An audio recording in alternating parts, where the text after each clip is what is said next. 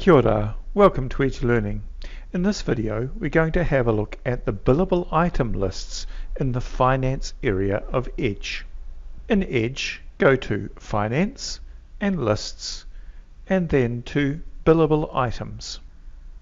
Here at the top you can choose the year that you're looking at if you want to look at a previous year. You can choose the billable item that you want to have a look at and the, set the date range and you can filter down further if you want to by year level, class, group, etc. Let's leave it there completely and then we'll go print. Here's what that list looks like.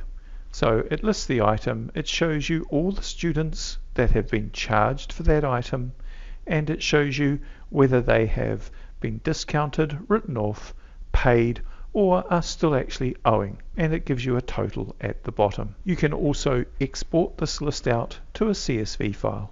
The second list available in here is a summary for the whole year and so if we print that one you can see all the items. It doesn't let you know who has been charged but it just shows you how much overall has been billed, how much was journaled, how much was reversed, discounted, written off or paid and the total that's left unpaying overall. Thanks for your time. I hope that's useful. Ka kite.